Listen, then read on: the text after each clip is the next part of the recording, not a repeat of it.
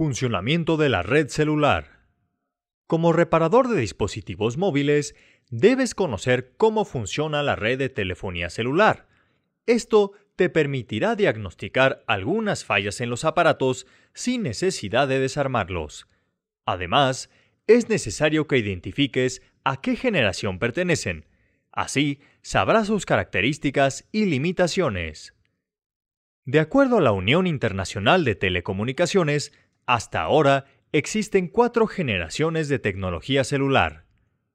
En 1G, solo podías comunicarte vía telefónica con movilidad.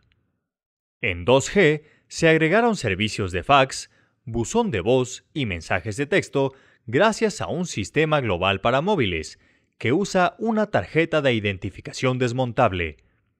Tiempo después, podías mandar tonos e imágenes con un servicio general de paquetes vía radio y una tasa de datos mejorada. Una variante de GSM es la tecnología de acceso múltiple por código, es decir, teléfonos sin tarjeta SIM. Más adelante, 3G aumentó la velocidad de transmisión, además de soportar voz y datos al mismo tiempo.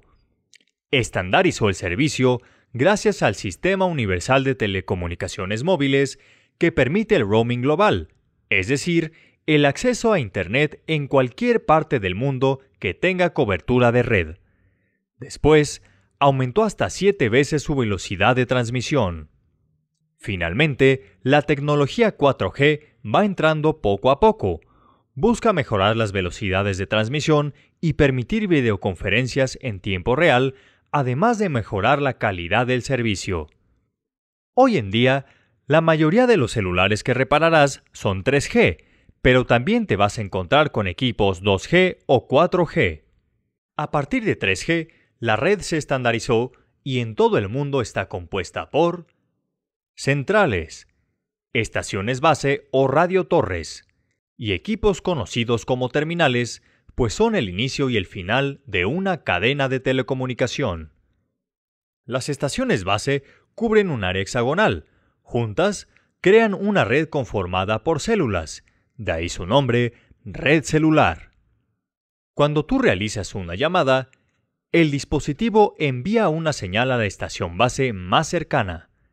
Esta la dirige a la central correspondiente. Aquí se busca la estación base en la que está registrado el equipo al que llamas. Ya ubicado, la señal se manda a dicha estación. Por último, esta canaliza la llamada.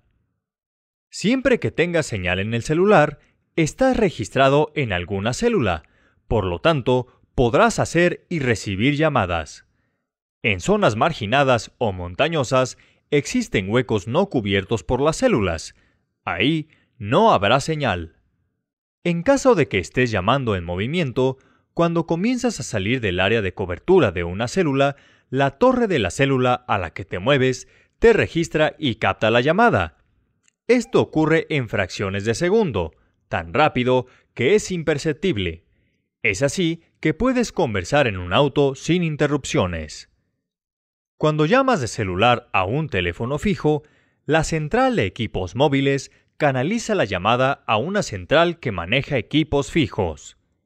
En esta clase aprendiste cómo funciona la red celular, es decir, lo que corresponde a la compañía que da el servicio. En la siguiente, conocerás cómo funcionan los equipos internamente.